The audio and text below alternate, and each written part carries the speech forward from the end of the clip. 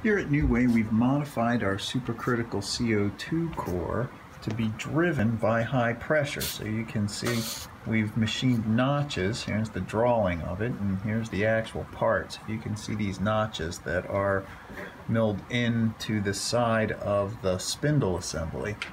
And then inside of the housing, you can see where we have a high pressure side and a low pressure side. And so this will speed the the turbine up, uh, spin the turbine up as we adjust the pressures and the plenums on either side to create load on the thrust bearings.